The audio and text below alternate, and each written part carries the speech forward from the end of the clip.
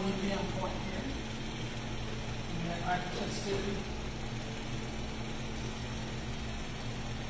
Hypersensitivity all over. Not pressing all that hard. See how the horse reacts everywhere you're touching.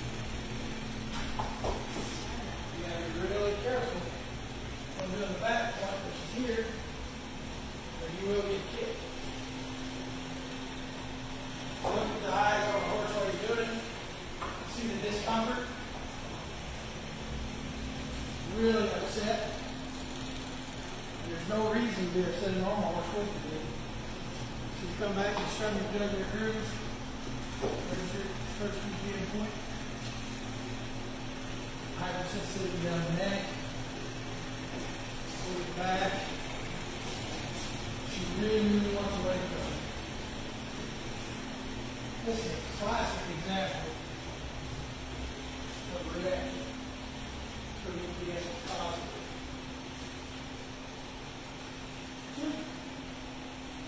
basically what I'm saying is that when you have a horse with this issue, basically EPM or sharpness, this is fair, right, you one, and you have this classic reaction, you can't really treat anything else because it's covered up.